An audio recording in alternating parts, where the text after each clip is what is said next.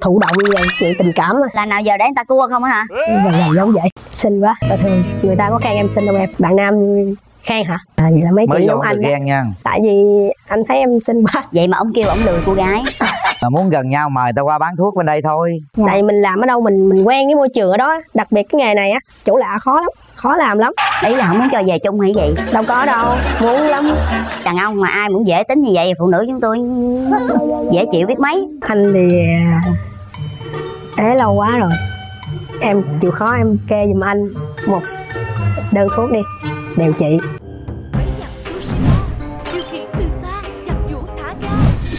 em tên là Lê Tuấn Vũ sinh năm 1989 sinh sống và làm việc ở Sài Gòn ạ. Làm gì vũ em cũng làm dược sĩ ạ. Dược sĩ luôn hả? Wow. Bán ở đâu? Dạ em bán tại nhà ở phường 15 Tân Bình ạ. Tiệm thuốc đó là của em hả? Gia đình hả? Dạ đúng ạ. Biết đâu sau cuộc ờ, gặp gỡ nay mình về mình bán ờ, ở ờ, Tân Bình đi. Dạ. Nha. Rồi ưu điểm khuyết điểm của Linh là gì? Dạ ưu điểm của em thì em em nhiệt tình với em có trách nhiệm trong công việc. Còn nấu ăn thì em biết nấu chút chút. Còn nhược điểm á thì em hơi khó với thẳng tính. Rồi hết rồi. đang nói sực nhớ là mình hết rồi Rồi. hả? Dạ. rồi còn ờ, Vũ nè. Dạ ưu điểm của em là em là người à, dễ tính. Em sống tình cảm. Như nói chung là khá trầm tính. Dạ em biết nấu ăn. Nấu ăn. Có khuyết điểm gì không? Khuyết điểm của em là em thụ động về chuyện tình cảm mà là nào giờ để người ta cua không á hả? Và gần giống vậy. Gần giống vậy. Dạ. em có mấy mối tình rồi chính thức có một mối tình mà từ thời sinh viên lận. Mối tình kéo dài không ờ, Vũ? Chắc cũng được một năm ạ. yêu nhau tha thiết không? Cũng không thời tại thời sinh viên mà. Dạ. rồi từ đó đến giờ có để ý ai không? Gặp phụ nữ đẹp thì phải nhìn chứ. Gặp phụ nữ đẹp thì phải nhìn chứ. Nhìn nhưng mà có, có cảm xúc gì với phụ nữ không? Hay là trai cảm xúc rồi? Chắc vậy. Chắc vậy. Trời đất ơi trai cảm xúc vậy có có coi chừng có cảm xúc gì với đàn ông không không không nha. Dạ. Thẳng hay không?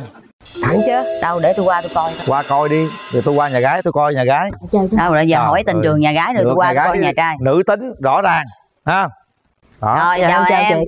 Tên lịch sự vậy thôi dễ thương chết luôn á em gái. Dạ. à, mấy mối tình rồi? Dạ chưa mối tình. Dạ lo đi học với đi làm không không có thời gian. học dược sĩ mấy năm? Dạ 4 năm, 4 năm. Phải làm mấy năm rồi? Làm cũng được 5 6 năm. năm sáu năm rồi? Dạ. Lẽ làm không có mối tình nào không có anh nào vô mua thuốc Dạ để ý cũng cũng có làm mai nhưng mà không hợp. vậy thì em hợp người như thế nào nè? Em đưa ra cái tiêu chuẩn mẫu hình lý tưởng đi. Dạ như chú Quyền Linh. dạ như chú Nguyễn đó. thì chú linh hả? Hàng hiếm khó tìm. Chú linh là cũng ờ, được ha? Dạ. bên kia người ta thích tại người như vì chú mình lên đó. à, em thì em lại dễ tính nên là sao cũng được ạ. À đó chú cũng vậy dễ tính lắm Dạ. Khi nào nóng lên mới khó tính thôi. Em ít khi nào nóng lắm ạ. Ủa vậy đó hả? Trầm tính. Trầm bên đây không? là dễ tính khi nào nóng rồi mới khó mà bên đây là nóng thường xuyên. Không có ra đâu. Dạ thấy chú dễ thương mà. Rồi bây giờ vũ muốn à, tìm một người yêu lý tưởng thế nào? Mẫu hình của em thì đơn giản sống đơn giản giống em. Với lại là không có, có mối quan hệ phức tạp á mối quan hệ phức tạp nhiều bạn bè quá là em cũng ngại đúng không? Dạ đúng rồi. linh có mối quan hệ phức tạp nào Dạ, không? Không có. tức là bạn bè anh trai mưa anh trai gió anh trai bão gì có không? Dạ không có. bạn nhậu rồi có không? Dạ cũng không. hai bạn này là em thấy sơ sơ là nó tương đồng với nhau lắm. Em muốn chừng nào lấy vợ? Thì bây giờ mình cứ tìm hiểu đi. Nếu mà đàn gái chịu lúc nào thì em sẽ cưới lúc đó. Cưới lúc đó ạ. Nhà trai em có hối gì chưa?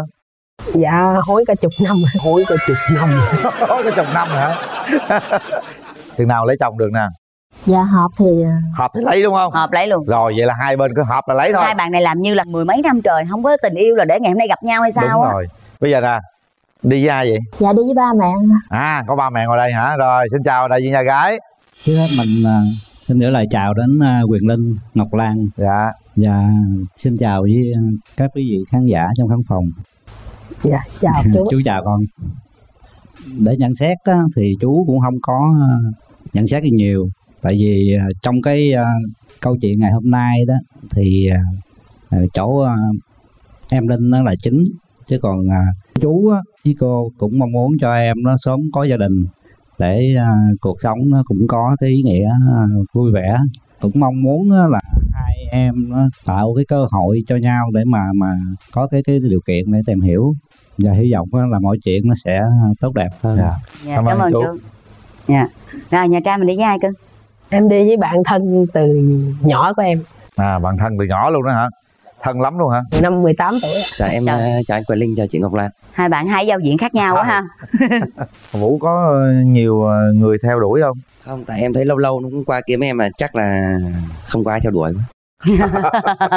à Vũ, tôi thấy bạn nữ này cũng hiền, cũng dễ thương. Nếu được thì sang năm đi, chứ năm nay đám tiệc nhiều lắm rồi. Sang năm đi nha. à, sang năm là còn con tháng nữa thôi đó ác dễ sợ luôn á biết đâu được Rồi là chuẩn bị kia vậy chị. em thấy vũ muốn vợ chưa Em gặp mẹ nó là lần nào cũng hối hết. á. à vậy hả mẹ hối dữ lắm luôn hả Dạ. ừ. rồi thôi cảm ơn em cảm ơn em à, bây giờ mình mở rào cho hai bên gặp rồi. mặt đây nha mở rào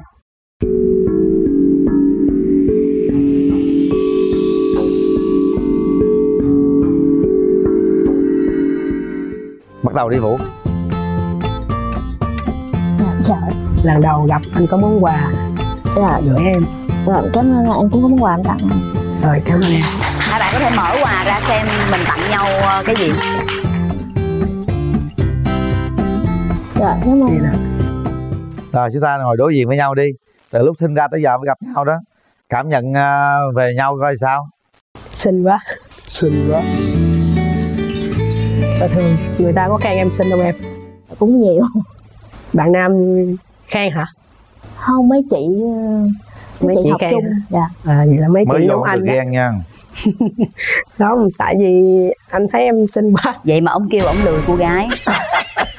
Em có nhu cầu gì về anh em thấy anh sao?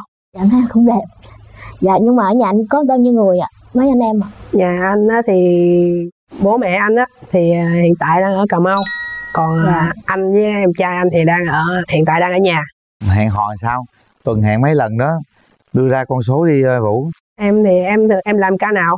Dạ em làm ca tối 9 giờ cái gì ạ chính về về Dạ. cũng sớm mà. Anh thì muốn đi lúc nào cũng được mà thời gian anh ok á Ủa, em làm full ca luôn à, full ngày full tuần luôn hay sao? Tháng em nghỉ được hai ngày á.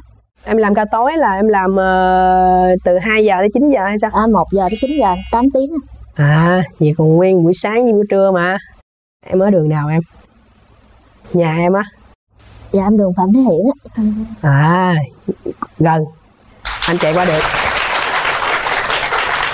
Nói đâu thì giờ muốn gần nhau mời tao qua bán thuốc bên đây thôi. Lương khá khá chúng ta qua liền có gì đâu. Dạ.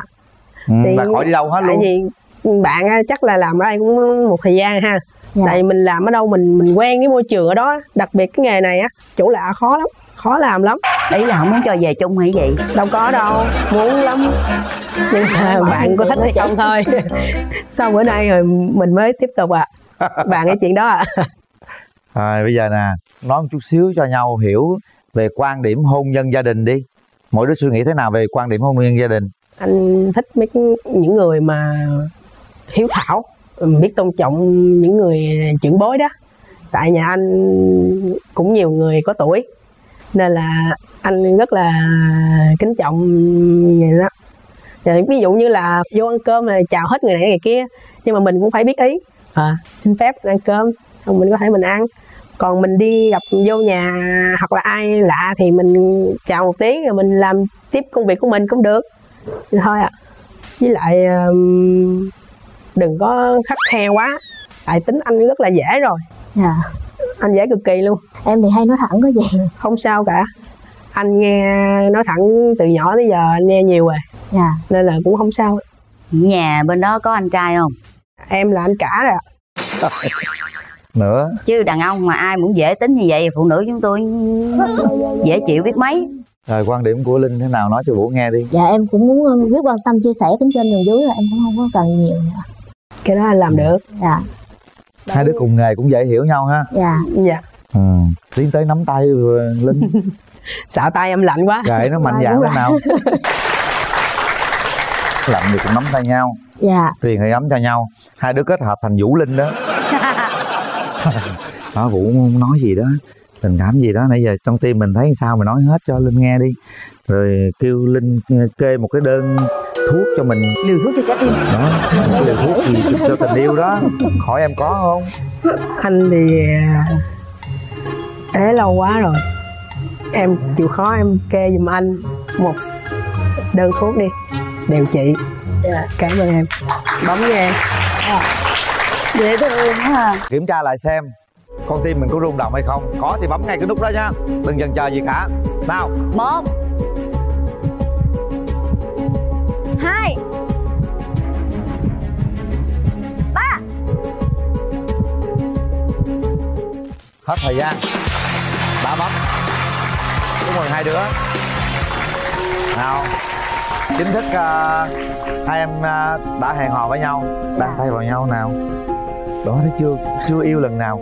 Đây đây không anh à, không nó bị chạy nó bị chạy đây nè đây đó.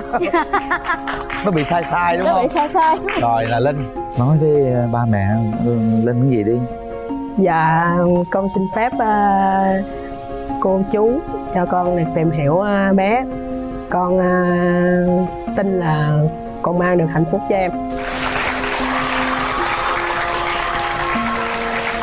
Dạ con xin phép con ờ, hôn em một cái ạ. Cái nụ hôn đầu đời nó quan trọng lắm á hạnh lên. Được rồi chú được. Được. Chưa được rồi ạ. Có gì có thay đổi gì ờ, cảm xúc không? Rung hơi chút ạ. Không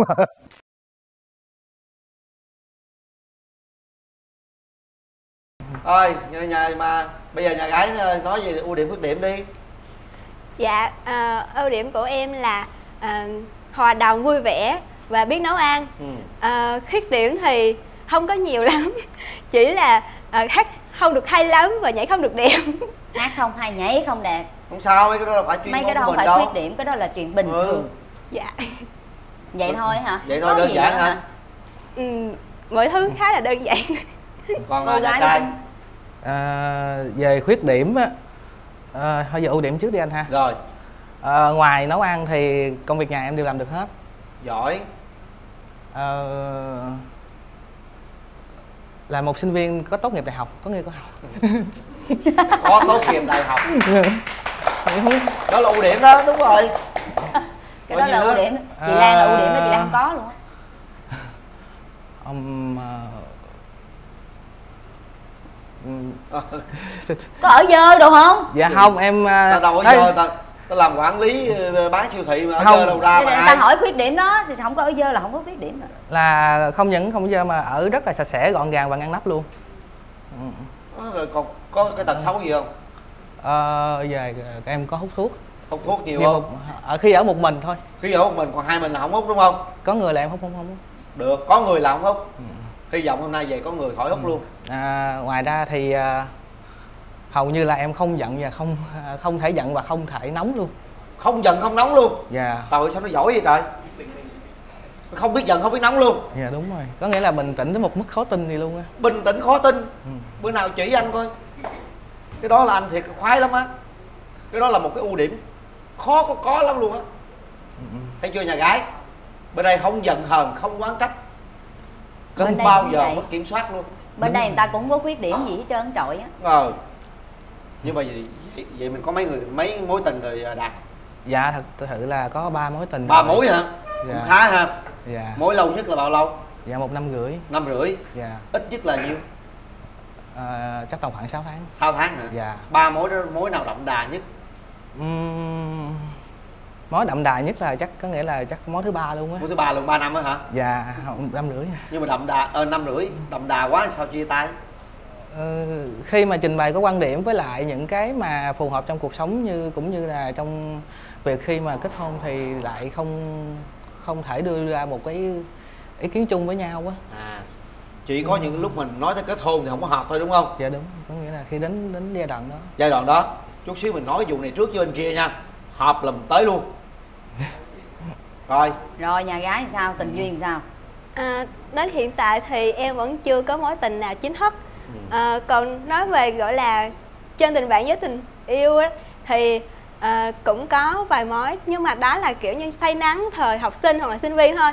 Chứ còn gọi là hai người yêu nhau và tiến tới tìm hiểu nhau thì chưa có à. Trời ơi người thì không có khuyết điểm luôn. Tính tình thì dễ thương nhưng mà chưa tìm được người phù hợp hả? Vậy bây giờ em nói luôn đi về cái cái mong muốn tìm một người đàn ông của mình như thế nào à, mong muốn của em cũng khá đơn giản thôi chỉ cần chiều cao à, bằng hoặc là hơn em. À, bên đây là sao ngon lẹ vậy? Bên đây ta cao lắm đó. Chứ bên đây cao cỡ nào? Đâu? Cỡ nào tôi bắt ghế cỡ đó? Đây chào em. Để gì chào đó. chị.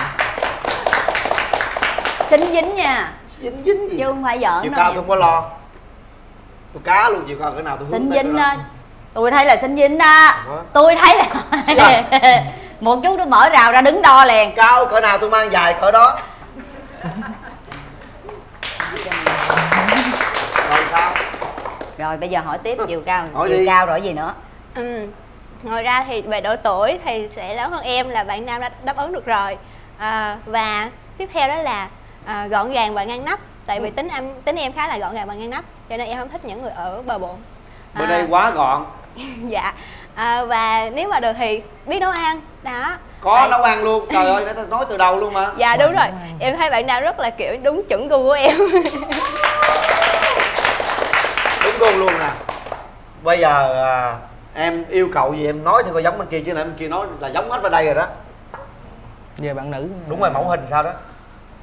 Mong muốn của em sao? Một bạn nữ cao à, tầm một mấy sáu mươi trở lên là được rồi. Rồi à, có thể à, quản lý được à, quản xuyến được gia đình có thể làm được việc rồi tôn trọng người à, cha mẹ các bậc tiền bối. Rồi có thể ứng xử được với lại à, những người à, như gì hoặc là những đứa trẻ em hoặc là gì đó. Ừ. có thể ứng xử được với tất cả mọi người. Giao tiếp ứng xử tốt đó ha. Dạ đúng rồi. Còn gì nữa? Ờ, đừng có. Ờ, dạng như là đừng có ích kỷ quá. Ích kỷ đừng ích kỷ quá. Ừ. cứ thoải cứ thoáng là cứ thoải mái và tự do như vậy có yêu cầu ăn trái cây được không? Không thờ ông thông thường mà về cherry thì bạn nữ nào cũng giành giật với nhau mà lo gì hả tôi có yêu cầu phải ăn được trái cây chứ. Được tự chưa? nhiên bán trái cây cái yêu cầu phải ăn trái cây. Thì yêu cầu ăn trái cây cho nó vui thôi mà. Kỳ quá không lẽ có giờ nhiều người ta không ăn trái cây. Nãy giờ bán mì cái bắt người ta ăn mì ăn nóng chết. Mời qua. Cao. Để tôi Dạ, qua đây. có cao. bên đây cũng cao lắm. có xinh luôn à, nụ cười rất là tươi. Bạn này giao tiếp rất là tốt luôn. Phải không? Rồi. Dạ. Mình có ờ, ghét cái gì về đàn ông không thích nữa không? Dạ có một cái điểm mà lúc nãy bạn nam có nói mà em không thích đó là hút thuốc. Bởi vì hút thuốc thì nó rất là có hại cho sức khỏe không chỉ cho cái người đó mà chính những cái người xung quanh nữa. Đúng rồi. Cho nên là nếu mà được em hy vọng là bạn nam có thể bỏ hút thuốc luôn. Bạn có nói một câu rất hay tức là bạn không hút thuốc ở chỗ nào có người. Mình có người là bạn không hút nhưng mà bỏ được luôn thì tốt. Đúng dạ nếu mà bỏ được thì tốt ạ. Yên tâm. Nếu vậy là bỏ được còn cái người mà hút ghiền rồi đó nó khác ha dạ. Vậy Ờ. em muốn bỏ lúc nào em cũng ở kế bên. Kè Dạ. kè 24 trên 24 cho chị là bỏ hả? Dạ vâng. Ừ, được. Bây giờ là khoảng bao lâu thì mình có thể nghĩ tới chuyện kết hôn á? Thật ra cái thời gian mà kết hôn thì em không có đặt nặng cái vấn đề. Ừ. Ờ, tại vì em luôn sẵn sàng cho cái chuyện kết hôn đó. Tại vì đang thiếu một chút rễ bên cạnh thôi. Quá thẳng thắn dứt khoát đúng. có thời điểm luôn. Sao nghe vậy thấy sao? Dạ thì em cũng vậy á nhưng hợp mà lý không? Dạ thì à, thời điểm kết hôn của em thì em tầm khoảng từ 6 tháng đến một năm để à, có thể tìm hiểu nhau hoặc là có thể chia sẻ với nhau với tất cả những quan điểm và những điều thẳng thắn với nhau nhất. Nói nói nghe nè bên đó chuẩn bị sẵn sàng lấy vợ chưa? Dạ rồi. Ờ, lấy vợ giùm ở đâu? Có nhà riêng gì không? Dạ ta, em thì à, đã có nhà riêng và đã cũng đã ở riêng đã cũng 7 năm rồi. Có nhà riêng rồi? Dạ đúng rồi. Ở riêng bảy năm quá. luôn. Dạ đúng rồi. Thì à, ừm, ban ngày thì em về bên nhà mẹ để em À. làm việc em sắp xếp tất cả công việc. À. Buổi tối thì em về bên nhà em em ngủ. Nhà, Nhà riêng em- ở đâu? Dạ đâu? nhà riêng ở quận Gò Vấp. Hồi dắt hả? Rồi dắt vào đất vàng đó. Có nhà riêng được rồi. Có đất trồng vườn không? Dạ căn biệt thự của mẹ em tới một ngàn mét vuông. Trời ơi trời tôi Nhà còn mình. có nữa đó. ngàn mét vuông mà xây cái nhà bị sở sao hết trời. Đời mỗi người nhà là không thấy mặt nhau luôn á. Để dành đá banh thôi. Rồi muốn gặp nhau là phải gọi điện thoại. Sân đá banh trong nhà thôi hồ bơi vậy thôi. Có một căn hay mấy căn? Dạ cái này em xin phép không trả lời được không chị? Được luôn. Hỏi trả lời cần gì nói? Nhiêu đó đủ rồi. Tại tôi tò mò. Bà bà muốn căn cho bà hả bà? Tôi ờ, tò mò tại tôi thấy nè hậu bạn này là có cái giái tay rất là đẹp thiệt. Giái tay rất là đẹp nó có cái khất ở đây nữa nè là giàu lắm. Tôi thấy có giải tài tôi biết có biệt thự ngàn mét rồi đó. Hỏi Về. bây giờ hỏi nó có anh trai không? Thì đó đang tính hỏi. Có anh trai không để cho chị Lan dạ em còn một người chị gái nữa à. Thua. Lẽ hỏi chị gái có chơi môi không? Làm. Tôi biết cái này tụi nó có dựng lên đâu. Lao không? Chị, chị gái chơi môi không? Ơi, được rồi dừng lại thôi. Bây giờ mình à, mình hỏi ờ, bạn gái nè đi với ai vậy? Dạ hôm nay em đến với em trai của mình. Em ruột á hả? Dạ vâng. Trời, thấy em ruột thấy cao cỡ nào rồi ha Dạ con xin chào chú Huyền Linh ạ, con chào MC Ngọc Lan ạ. Và Dạ. chào các khán giả ở trong trường quay ạ. Dạ con là em trai của chị Trang ạ. Hôm nay ờ, đến ờ, ở với chị rồi. Mình thấy nhà trai thấy nhà trai là sao? Dạ em thấy anh trai ở đây là, là cao to ạ là cũng rất tốt ạ. Ngon Nhưng mà có cái khuyết điểm là như đàn ông bây giờ hiện đại là không có hút thuốc á Cho nên là em xin anh là bỏ ờ, vấn đề hút thuốc đây là được. Dạ, con Bỏ. mình có cái ok ok đúng không? Dạ. Ha ha bỏ ha bỏ nó không tốt cho mình chứ không gì hết trơn á ha. Nhà tôi có trái cây tôi ăn không tôi không cần thuốc thuốc gì luôn. Ừ. Rồi nhà mình đi với ai? Dạ à, hôm nay à, em đi với mẹ của em luôn. À, mẹ dạ. có mẹ luôn. Có mẹ mẹ. lo. Ngàn mét vuông nào qua nhà cô chơi với cô Dạ, ờ, xin kính chào ờ, Quỳnh Linh và Dạ. các giả đài Ngọc Lan. dạ Xin chào các ờ, tất cả các quý vị trong trường quay. Tôi là mẹ của Đạt. Ờ, hôm nay đến ủng hộ con. Mình xin hỏi con một câu là cô cô đưa có- micro xích vô chút con có biết ờ, làm việc nhà không? Làm việc nhà đúng không Dạ. cô? Dạ cái việc đó rất là con làm rất là nhuần nhuyễn luôn rồi cô Từ nhỏ là con đã làm việc nhà rồi ạ Cô có một mình Đạt thôi. Dạ Con có chịu làm dâu không? Dạ việc đó con cũng rất là sẵn sàng Ừ. thông minh dứt khoát giao tiếp tốt. Vậy đủ rồi. đủ rồi. Dạ cảm ơn cô. Dạ. Con cũng thích làm dâu lắm nè. À, con cũng thích làm dâu lắm. Con quét dọn ngàn ngàn mét nổi không? Con quét không nổi thì con mướn người về con Trời quét ơi, cho. cũng không. Thôi bây giờ mở rào cho hai trẻ gặp mặt đi. Rồi mở rào. Đi lại tiến lại luôn đã. Anh có quà để tặng em ha. Dạ em cũng có một món quà tặng anh. Rồi. Khi mà mở rào ra thì anh lần nhìn nhận vào em á, cái ấn tượng đầu tiên là gì? em khá cao á. Anh cao một mét bao nhiêu? bảy bảy em. Ồ, không sao, bảy bảy là hơn em rồi. Em chỉ có mét bảy thôi. Mét bảy gái cao hổn á. Họ nhìn vậy thôi. Thực ra nhìn tôi biết đạt nó cao hơn rồi. Ờ, Thì ừ, đối với anh thì ờ, anh nghĩ tình yêu như thế nào trong cuộc sống hiện đại bây giờ? Ừm, tình yêu là sự yêu thương chia sẻ à, thấu hiểu và quan trọng nhất trong tình yêu là sự tôn trọng lẫn nhau. Dạ vâng, thì đó cũng là cái ờ, ý nghĩa mà em cũng đang hướng đến Đó là sự tôn trọng giữa hai bên. À, Mặc Đúng dù rồi. là khi mà chúng ta gặp quen nhau, yêu nhau thì chúng ta cũng có một cái sự riêng tư nhất định. Thay vì là à, lúc nào cũng quan sát và theo dõi nhau Thì cái điều đó nó cũng thể hiện là cái sự không có tin tưởng đối phương ấy. Đó thì em cũng rất là mong muốn là tìm một cái người bạn trai có một cái quan điểm tình yêu giống như em cho anh hỏi nếu mà khi em nóng lên em sẽ xử ứng xử như thế nào? Khi mà em nóng lên ấy thì điều đầu tiên đó là em sẽ à, thứ nhất là em sẽ tránh những cái người xung quanh. Em có thể đến một cái quán cà phê hoặc là à, đến một cái công viên để em ừ, bình tĩnh lại. À, và em quan niệm là trong công việc đặc biệt là khi mà em nóng lên cho công việc ấy thì em sẽ không đem cái việc đó về gia đình của mình. À, khi mà bước vào gia đình thì nó sẽ không nói chuyện tới công việc nữa. Đó là cái điều mà em nghĩ nó sẽ giúp cho mình cuộc sống của mình tốt đẹp hơn. Dạ. Ừm, em có thích à, đi chơi đi du lịch không ta? Dạ đó là một cái sở thích rất thích của em. Và em hầu như là mỗi năm em đều đi du lịch. À, và em rất là thích không không thích cái việc là đi tour mà có cái sự sắp đặt sẵn mà em thích là à, tự túc và đi phượt ấy thì có thể giúp cho mình tìm hiểu được cái nền văn hóa ẩm thực của cái nơi mình đến cũng như là giúp cho mình tự lập kế hoạch quản lý tài chính của cái chuyến du lịch đó luôn. Thì nó cũng là một cái giúp cho mình học cái được nhiều cái kỹ năng trong cuộc sống. Anh hỏi em tại vì anh có một cái tính như vậy thí dụ như anh đã làm xong hết việc thường cuối tuần anh hay có tùy hứng vậy em ơi rảnh không? Đi tây ninh ăn bò chơi ăn cái ăn xong cái là về thôi. Hoặc Dạ. là đi ra vũng tàu ăn hải sản xong về. Có nghĩa là anh sẽ có những cái tùy hứng khi anh đi chơi du lịch như vậy em À, cũng giống anh đó. Đó có nghĩa là chẳng có sắp xếp gì cả. Mấy Đúng cái đó rồi. thì sao? Tại vì thường sắp xếp nó sẽ bị ờ, mất đi cái cái cái cái sự uh, như là nó sẽ bị vỡ vỡ đi kế hoạch đó. Đúng rồi. À, em cũng có một cái à, suy nghĩ như này. À, thật ra việc trong công việc hoặc là trong cuộc sống thì cái việc lập kế hoạch là tốt. Nhưng mà đôi khi cái việc lập kế hoạch thì nó sẽ gây cho mình những cái thất vọng tại mình không có đạt được cái kế hoạch đó đó. Cho nên em hay hay tự nói với bản thân không cần phải đặt kế hoạch làm gì bởi vì mình cũng không có thực hiện được cái kế hoạch đó. Đúng rồi. Thật ra cái tùy hứng đó khi nào chúng ta làm chủ kinh tế thôi. Đúng rồi. Còn mình làm công ty cơ quan thì cái tùy hứng của mình chắc không được đâu. Ờ, nhiều khi mình tùy hứng nhưng mà cơ, cơ quan ta không cho phép thì cũng khó lắm không có gì em cũng hỏi trước. Em là À. em sẽ hỏi trước với lại bạn nữ hoặc là gì đó chứ em không tự quyết định. Tính em Đúng là rồi. không tự quyết định. Nhiều khi hứng là cái em ơi ngày mai đi vũng tàu nha. Rồi bạn gái cũng hứng đó cũng đi đó nhưng mà đi. Đi xong về mất việc luôn. Đi là mất việc luôn. Thành ra đây là cái tùy hứng nó tùy thuộc vào kinh tế của mình có làm chủ được hay không. Chứ nói vậy ai không khoái. Tôi giờ không lẽ lan đi chơi lan. Đi. Thôi. Nhưng mà không được đang Được quay đâu. chương trình bạn muốn hẹn hò đi Đúng là rồi. về mất vị trí mc Đó. liền tùy hứng nó tùy thuộc vào con người thành đạt và chủ động về mặt kinh tế. Chứ đôi khi mình đừng ép bạn gái quá. Không không em không nhưng mà mà nói chung là cái phong cách của hai bạn này thì lan rất là thích tại vì lan cũng là cái người thích như vậy. Mình nhiều khi mình thèm một ly cà phê ở ly cà phê và mình muốn nghe cái tiếng sóng biển là mình cứ ra mình uống ly Ra cà phê đó xong. mình về. Dạ. có lâu lâu mình có những cái lúc như vậy á, mình sẽ refresh lại cái cuộc sống đó rất là đi tốt. gì mệt cho vậy?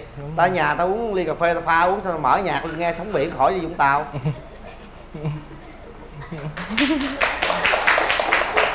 chỉ nghe tiếng sóng biển thôi mà đi chi đúng không? Đôi khi còn phải bắt kiếm đầu được- từ ngày mai mà có quyền linh là không có ngọc lan. Mệt mỏi quá rồi từ sáng tới giờ. Quá mệt mỏi. Cái này em binh cho chị ngọc lan chút xíu đôi khi mình cũng phải kiếm cảm giác độc lạ chút xíu à. binh đi. Hai người binh thì dẫn cô nó đi luôn đi. Mới một đi cho tôi đi với. Rồi à, bây giờ tiếp nữa quan điểm về hôn nhân gia đình con cái tiền bạc ai quản lý thế nào? Mình thỏa thuận với nhau trước đi các bạn. À, em nói trước ha.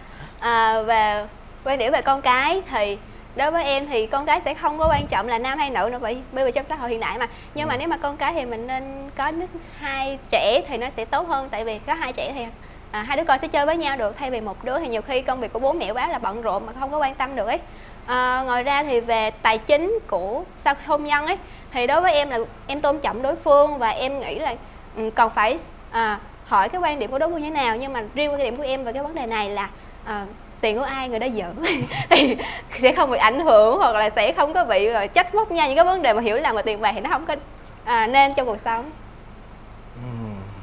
Còn của anh thì sao? Bây giờ anh nói vậy ha. Về vấn đề tài chính thì à, trong gia đình anh có thể lo được. Tiền của em làm em cứ giữ giữ đó và em có thể lo cho gia đình em ba mẹ đi. Nhưng mà có thể một ràng buộc một vài trách nhiệm cho em là em có thể ví dụ như 3 tháng 4 tháng em phải mua những cái đồ dùng trong gia đình xà bông hay cái gì đó để có một sự trách nhiệm đối với gia đình như vậy thôi. Dạ. Đúng không? Có nghĩa là Rồi. tài gia đình anh sẽ lo. Về về mặt gia đình đó có nghĩa là khi cưới về á à, hiểu đối ý với không? em Em thì mà em không? khi mà mình sau kết hôn ấy Ừ. thì là ừm, là anh muốn ở riêng hay là ở chung với ờ, anh đây anh đã ở riêng đã cũng đã 7 năm rồi kỳ này anh kết hôn ví dụ anh có kết hôn thì ví dụ hai đứa có tung tăng đi nữa thì cũng chỉ được một năm thôi còn anh phải về lại với gia đình rồi tại vì cha mẹ anh còn có một mình anh thôi và Dạ. anh phải lo cho cha mẹ về về sao Dạ, thì cái việc ờ, sống chung và sống riêng em không có muốn gọi là tách bạch ra nhưng mà ý là cái ngôi nhà mà mình sẽ sống ấy sau khi kết hôn thì cái ngôi nhà đó nó không phải còn là của mỗi gia đình anh nữa mà nó cũng có thêm em vào trong đó đúng không? Đúng. Thì em cũng là cái người có trách nhiệm đối cái vấn cái ngôi ngôi nhà đó của mình. Ờ, thì mình cũng có thể là ờ, mua sắm các đồ dùng trong gia đình. Tại vì đây là cái nơi mình sinh sống mà. Ờ, chứ không phải là đặt nặng là vấn đề tài chính là của anh hay là tài chính của em mà là cái ngôi nhà của chung chung thì Là chúng ta sự phải công lo. bằng lẫn nhau đúng không Dạ. em em là em thích sự công bằng và thẳng thắn lẫn nhau đúng không Dạ đúng rồi, em thể hiện cái sự tôn trọng giữa hai bên. thật ra nếu như thế thì nó cũng tính toán quá. Đúng nó rồi. mạch quá tiền ai nấy xài còn là vợ chồng nữa. Thật ra là các bạn thấy nè khi chúng hai là một rồi ta về chung một nhà rồi thì tiền bạc nó cũng quan trọng đâu. Quan trọng ta yêu nhau thì ta sẽ không nghĩ tới chuyện tiền bạc gì cả hết. Chúng ta có thể tất cả xài chung một cái thẻ chẳng hạn. Khi mà các bạn ờ, có cuộc hôn nhân rồi các bạn tính cái đó dễ lắm. Hai bạn sẽ ừm, xài chung cái thẻ. Thì cái thẻ đó ai mua cái gì mua cái gì đều biết với nhau hết trơn á. Ừ. mình tôn trọng ý kiến của mọi người thôi và khi khi sử dụng những số tiền lớn thì phải bàn với nhau Dạ. à, chúng ta cứ thỏa thuận nhau à phải xài năm ba triệu 10 triệu 20 triệu là chuyện ai muốn xài nhiêu xài nhưng mà khi trăm hai trăm triệu lên á là ờ, em ơi anh muốn làm đó được không em ơi anh ơi em muốn làm đó được không nên thỏa thuận với nhau chứ bây giờ thiếu tiền ai lấy xài nó, nó, nó hơi bị xa xa cách nhau quá Dạ. Ừ, dạ đúng rồi. Em cũng không ý là không có phải là mạnh là tiền ai nấy xài Ừ. còn những cái vấn đề trong đồ- dùng trong gia đình ấy thì là chúng ta phải có ý kiến của các thành viên trong gia đình. Ừ. không thể là mình thích một cái máy giặt một cái ờ, tủ lạnh mình tự quan điểm của mình mua. Nhiều khi là thành viên trong gia đình họ không thích cái mẫu mã đó thì sao? Cho nên là em nghĩ là những cái đồ dùng trong gia đình thì các thành viên trong gia đình sẽ hỏi ý kiến với nhau. Đúng rồi cô này cũng được. Cái chỗ này đáng lẽ phụ nữ hay không? Kinh tế em quản lý. Anh làm làm với em quản lý hết. Còn này cũng không quản lý luôn. Tức là cũng không nghĩ tới tiền bạc. Ừ. tốt á nhưng mà với người đàn ông thì mình nên thoải mái chút xíu. Thật ra là khi người đàn ông á là trụ cột gia đình. Mình làm ra tiền cho ai? Cho vợ con mình xài với ai? Làm ra tiền cho ai để cho cha mẹ vợ con Ừ. mình hưởng thụ với ai đúng không? Khi mình hạnh phúc rồi thì tiền bạc không là gì cả hết. Khi mà mình còn tính toán cơm áo gạo tiền thì mình cân đong đo đếm xem à bữa nay mua cái này mua cái kia còn khi mình làm có tiền rồi thì ba cần gì mua đó mẹ cần gì mua đó. Ừ. thậm chí vợ muốn xài con xài gì thoải mái. Nên thật ra là trong đã thành với thành viên gia đình rồi với nhau thì không có ai nghĩ là phải xài tiền một cách nó, nó, nó vô tội vạ đâu. Người ta cũng tính toán hết trơn rồi Ừ. quan trọng là các bạn có yêu thương nhau chăm sóc cho nhau lo lắng cho nhau cho một cái tổ ấm gia đình nhỏ và gia đình lớn hay không thôi. Theo anh như vậy biết tụi em nghĩ sao? Đang đang không biết là suy nghĩ Ừ. của bạn trai như thế nào tại vì nãy thấy cái quan điểm đó của bạn cũng hơi lấn cấn.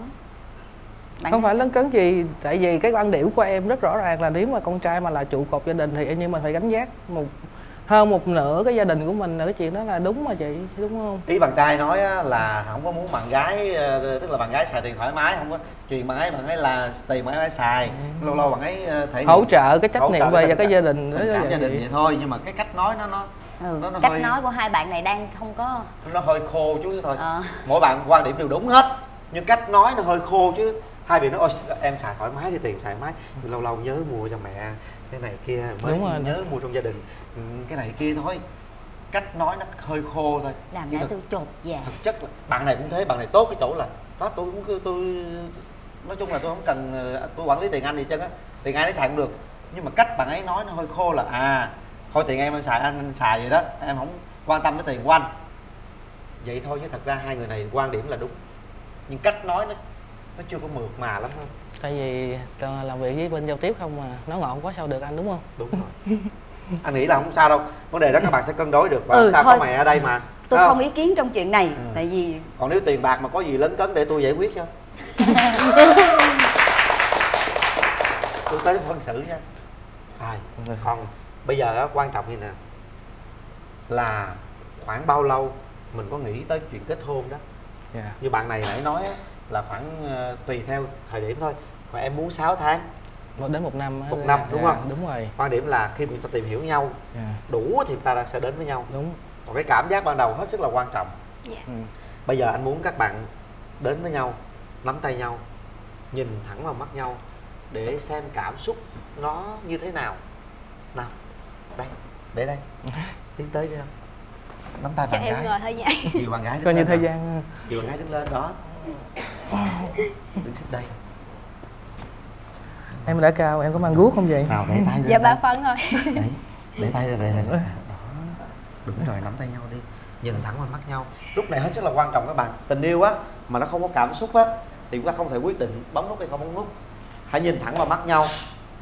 Rồi cảm xúc của em từ nãy giờ khi nói chuyện với người đối diện là gì? Nói đi đạt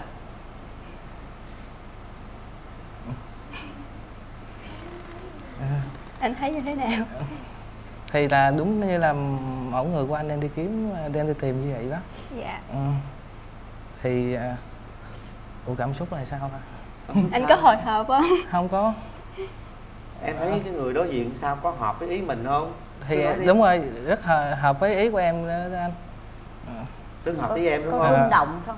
Em có đang rung động không chàng trai? Em cứ nói thẳng với người đối diện nãy giờ anh thấy ờ, em rất là hợp với anh. Ờ, anh ờ, cũng định tìm hiểu em gì đó cái gì gì đó. Em cứ nói tự trái- tim của mình thôi. Ở đây á, chúng ta nói thật hết những cái gì mình suy nghĩ với nhau. Bây giờ em gái nói trước cũng được em trai nói trước cũng được. Nào. Hay, em nói trước đi dạ ha. em nói trước ha. À. à, em thì thật ra mặc dù là 28 tuổi nhưng cũng có thể gọi là giống như một cái trang giấy trắng trong tình yêu ấy. Cho nên là ờ, đối với em thì em à, thấy anh rất là hợp gu của mình. Tại vì cái tiêu chuẩn em đặt ra nó cũng khá đơn giản thôi đúng không? À, và em hy vọng là chúng ta có thể tiến được với nhau xa hơn trong tương lai. Tại vì 28 tuổi thì em nghĩ tới việc là bạn bè em đã lập gia đình rất là nhiều rồi cho nên cho nên là em hy vọng là chúng ta có cơ hội để đến với nhau. Tốt quá tới đạt đi.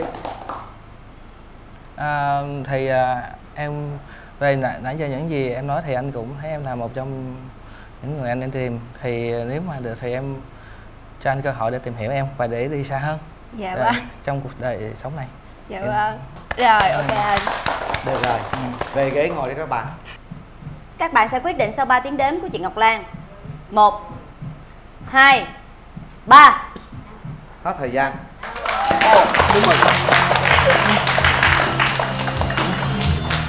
Kính thưa các bạn đã hẹn hò với nhau nào nắm tay nhau đi. Nắm cái xen tay vào với nhau.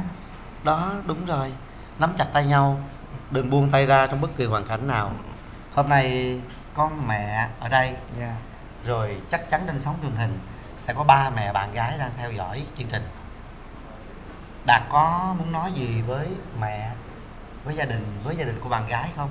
Thí dụ là xin phép gia đình cho tụi con hẹn hò với nhau và con hứa nếu mà tụi con hiểu nhau Ừ. à, yêu nhau con sẽ gì đó thí dụ chẳng hạn.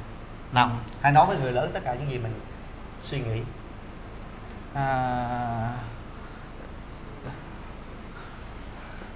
à, xin xin phép à, hai hai bác à, cho con và cô, cô ấy tên gì ta? trời ơi. Bây giờ nó hỏi cô ấy tên gì nữa. Trang Trang à, à, cho con và bạn Trang à, có, hẹn hò với nhau. Nếu như hai à, người có thể à, tìm hiểu nhau và thấu hiểu được về nhau thì sẽ đi đến à, một tương lai tốt đẹp hơn. Có nghĩa là xây được một gia đình cả lớn là lẫn nhỏ luôn. Ừ. ừ. được. Hãy nói gì với mẹ của đạt đi trang? Dạ con chào bác. À, hy vọng là trong tương lai sắp tới là con có thể là một thành viên trong gia đình của bác. Dạ. Cô gái này rất là giỏi trong khâu giao tiếp nha. Bé này rất là được luôn. Bé này về giao tiếp về tất cả mọi thứ á, là có thể quán xuyến gia đình có thể lo kinh doanh cho Đúng Đạt rồi, cũng được hỗ đó. trợ trong kinh doanh nhiều lắm à, cô cô. này cổ rất là ok mọi là thứ. giỏi. à, đạt cũng vậy đạt cũng là kinh doanh nhiều rồi ha. Nhưng mà mua bán đã trả giá này kia tùm lum hồi tính tiền hỏi ủa này anh bán em nhiêu vậy? Nhớ nha. Cái miệng này là miệng kinh doanh nè. Rồi chúc hai em hạnh phúc ha. Dạ, Dạ. dạ. cảm ơn. Rồi. Dạ cảm ơn cảm ơn anh Quyền Linh và chị Cát Tường Ừ, chị Ngọc Lan. Ừ trời ơi. Hả gì? Cái gì ạ không có không có gì hết á chị. Có gì hết đúng quên. nó quên. Có chuyện đó bỏ qua khi nào coi lại đi biết nó nói gì